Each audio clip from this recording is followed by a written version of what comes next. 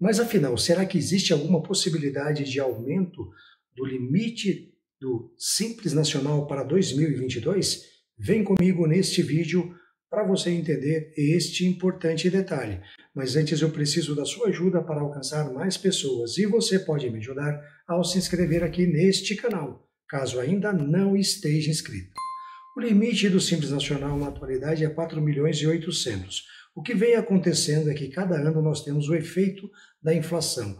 A inflação ela repercute nos preços vendidos e, por consequência, repercute também no limite do quem, de quem está no Simples Nacional, que está limitado a 4 milhões e 800. Nós tivemos, por exemplo, no ano de 2020, um acréscimo considerável nos produtos, na matéria-prima, nos preços praticados ah, no varejo. E com isso nós temos aqui um aperto no limite do simples para as empresas. As empresas que estão vendendo tá, praticamente o mesmo volume, mas começam a ter um valor monetário maior, porque foi repassado custo, aqueles produtos que sofreram um acréscimo, por exemplo, de alguns setores 40, 50, 60%, isso acaba repercutindo na venda, no, no aumento da venda, mas não aumento do volume, é aumento monetário, pois o preço aumentou e o, o consumidor final acaba pagando e você que vende aí esse produto acaba elevando o valor total das suas vendas, vendendo o mesmo volume.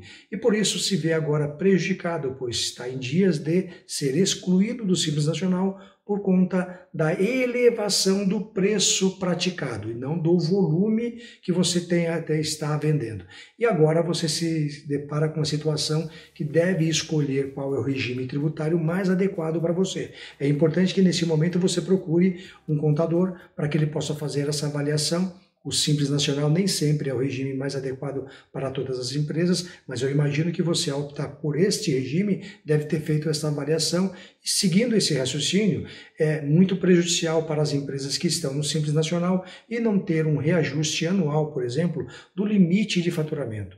Nós não podemos entender como sendo razoável que tenhamos um novo limite, não tenhamos um novo limite do Simples Nacional, que este limite de faturamento de 4 milhões e 800 não possa ser indexado para recompor a inflação anual. Então aqui o que nós clamamos aqui é para que haja uma sensibilidade par, por parte do governo para que eleve este limite a cada ano, recompondo a perda inflacionária. Por exemplo, nós sabemos inclusive que as mercadorias, os produtos, eles foram reajustados acima da inflação, mas que pelo menos haja aí uma indexação do limite do Simples Nacional para que todo ano haja de fato um acréscimo, um aumento, uma correção deste limite. Nós não podemos admitir que esse limite permaneça nos 4 milhões e 800, pois desta forma nós estaremos excluindo a cada ano milhares de empresas que dependem desse regime para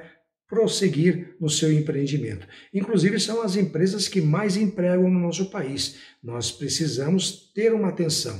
É necessário que o governo olhe para essas empresas como um agente facilitador, um agente que ajuda muito a geração de postos de trabalho no nosso país. Agora comenta aqui o que você acha dessa informação. Ela foi útil para você? Se ela foi útil, deixe um comentário. Foi útil. E se você acha que ela pode ser útil para mais pessoas, sabe o que você pode fazer? Pode compartilhar com todo mundo que você conhece, aqueles seus amigos e familiares que você tem lá naqueles grupos do WhatsApp e do Facebook. Vamos espalhar esta informação como forma de promover um bom e saudável debate, ao levar informações de utilidade pública para estes empreendedores. Não esqueça de dar um gostei nesse vídeo e acionar o sininho, pois toda vez que nós postarmos um novo conteúdo, você ficará sabendo. E eu continuarei aqui gravando mais conteúdos para poder te encontrar num próximo vídeo.